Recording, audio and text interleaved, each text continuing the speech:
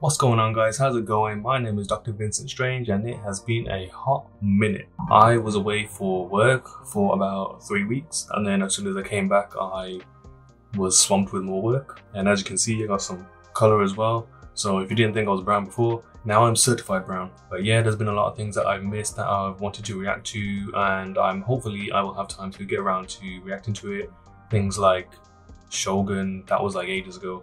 There's Fallout came out, um, lots of trailers. Yeah, so right now I'm just starting with the trailers. I'm going to be reacting to a couple today, starting with Dune Prophecy. Now, if you guys haven't seen my review of Dune Part 2, please go watch it. I'll link that down in the description below. And from that, you can probably tell that I am obsessed, absolutely obsessed with Dune. I am heavily invested in the franchise and I cannot wait to see more of it. But also, if you are new here, I review and react to different movies and TV shows with my honest opinions and insights. And let's get into the trailer. 10,000 years before the birth of Paul Atreides. Oh, okay. before the 10,000 years. would know us as the Bene Gesserit. Oh, man. a sisterhood, So this is like the beginning of the Bene Gesserit. assigned to the great houses to help them sift truth from lies. Hmm. We created a network of influence throughout the Imperium. But power comes with a price. Love Mark Strong. Sister On the throne. Nothing is more important. And this is the marriage that makes it possible. This is us playing God. Good cast this is. will be judged for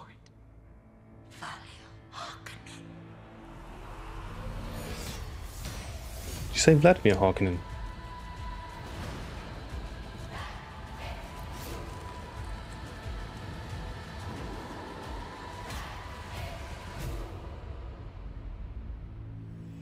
Sisterhood above all.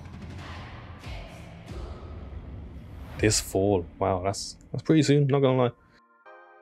So I guess we're getting a story of not only how the Bene Gesserit came to be, but also how they were able to come to influencing the Great Houses. I'm not sure if this was based off one of the books. One of my friends told me that it could be based off Sisterhood of Dune, which was written by Kevin J. Anderson and Brian Herbert. I haven't read that book, but I am currently reading the first Dune. this this one, this is how far I am into it. And it's pretty battered as well. Yeah. I took this abroad with me to read in my spare time. That's why it's in crap condition. I might just have to buy another one. but anyways, going off this, I definitely don't think it has the same tone and feel as the movies. Of course, it's not going to because it's a TV show and I knew that going in. So I'm not going to focus on that too much, just trying to look at it as what it is. Overall, it's a good little teaser. I hope they do justice to Frank Herbert's law of the Bene Gesserit. This also has a great cast, a few familiar faces that I'm seeing. Looking it up, I am seeing Mark Strong, who is playing the Emperor. I honestly thought he looked like a leader of the House of Atreides if there was a House Atreides at this time. Emily Watson, who I know from Chernobyl, is playing Valya Harkonnen. That's crazy. was it so that the Bene Gesserit started with the Harkonnens? I don't know, we'll see. Olivia Williams is playing another Harkonnen called Tula. Yeah, those are the three main actors that I recognized. But I'm also seeing Travis Fimmel, who I know from the Warcraft movie. So all around great cast if you ask me, you can't go wrong. I'm excited to dive further into the Dune universe and learn more about the Bene Gesserit, but also the Great Houses and what it was like 10,000 years before Paul Atreides, as they say. Also, I know it's just narration, but what if it's not? What if they can actually see into the future and see what Paul does?